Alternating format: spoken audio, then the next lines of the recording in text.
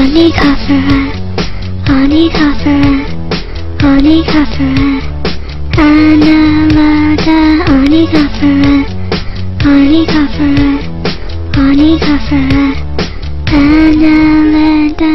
You see these segments here, they're from the worms you see. These annelids that live in damp environments. Hermaphrodites they are, regeneration's the key to how they reproduce, say, and sexually.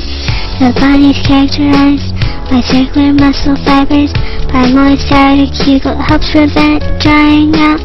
They have internal organs like the circulatory system and help create pathways for stuff like nutrients.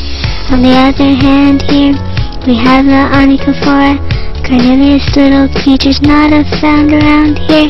They're known as velvet worms and walk on many legs. These aren't segmented like Annelida. Onychophora, Onychophora, Onychophora, Annelida, Onychophora, Onychophora, Onychophora, Annelida, Onychophora, Onychophora, Onychophora, Annelida,